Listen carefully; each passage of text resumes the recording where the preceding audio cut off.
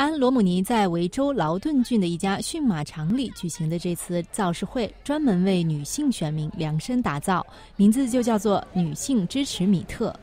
安·罗姆尼在演讲中提到了自己的成长经历、病痛以及对马的热爱，并且再次强调对丈夫的信任。我之前就告诉你们了，这个男人知道怎么解决这些问题，他解决过这样的问题。他已经证明过自己的能力，现在该轮到他出场了。因为我相信他，也因为我们相信美国。这是两党全国代表大会结束之后，共和党召开的第一场造势会，足见共和党对女性选民的重视。安·罗姆尼在早前结束的共和党党代会上讲话时，更是以妻子、母亲和祖母的身份向女性选民直接表白：“I love you, women。”女人们，我爱你们。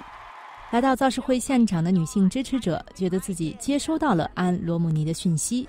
她是个真正的女人，她和我有着共同语言。我认为她启发了我。她支持女性，我很赞赏这一点。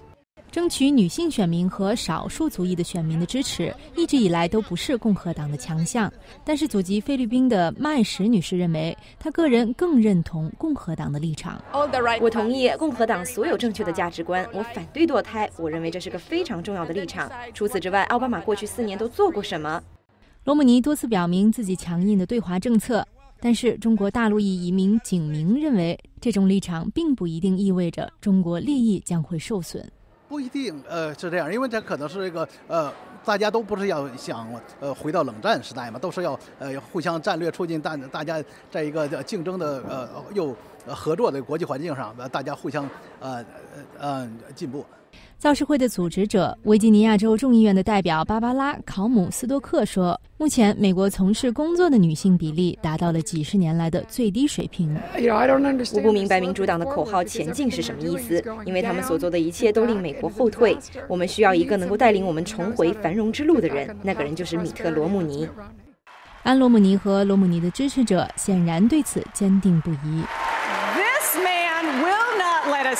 这个男人不会令我们失望，这个男人会令美国崛起，这个男人不会失败。